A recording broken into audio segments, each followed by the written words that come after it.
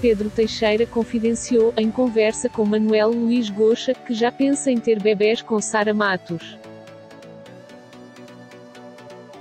O ator de Quero Destino abriu o coração no Você na TV, na TVI, e falou do amor que o une à atriz da SIC com um brilho nos olhos.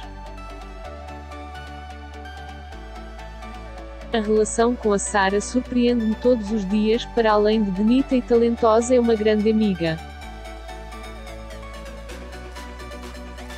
Acho que tenho aqui uma companheira para a vida, começa por dizer. É uma rapariga especial, é muito focada, é mesmo muito minha amiga. É uma pessoa que está ali para mim, dá-me liberdade para fazer tudo o que eu quero e está lá sempre que eu preciso.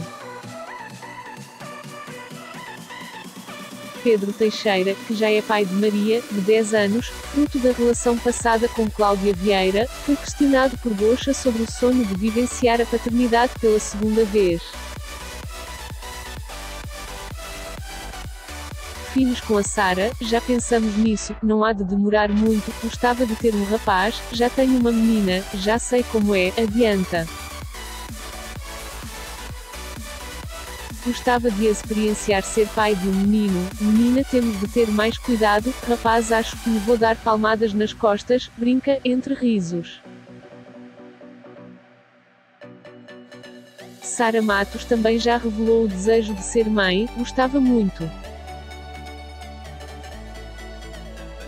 Pedro Teixeira sempre se mostrou um pai muito babado e, quando fala de Maria, é notória a cumplicidade com a filha. A Maria tem 10 anos, nem sempre posso estar com ela.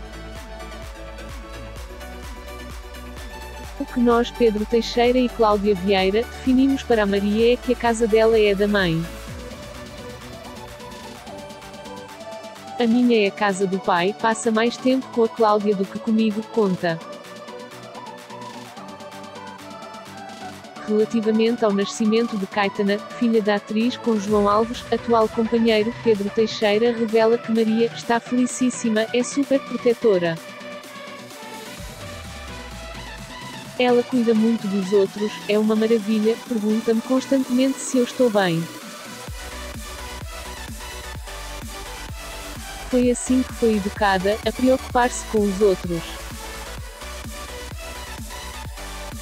É muito acarinhada por todos. Pedro Teixeira garante que ainda não está preparado para o facto da filha estar prestes a entrar no mundo da adolescência, por ser a sua menina. Ela gosta de ser criança, não quer pensar que vai ter de crescer e pensar que vai ter um namorado. Contudo, ciente de que o dia há de chegar, o apresentador do Dança com as Estrelas confessa: quando chegar à altura não vou ser aquele pai chato.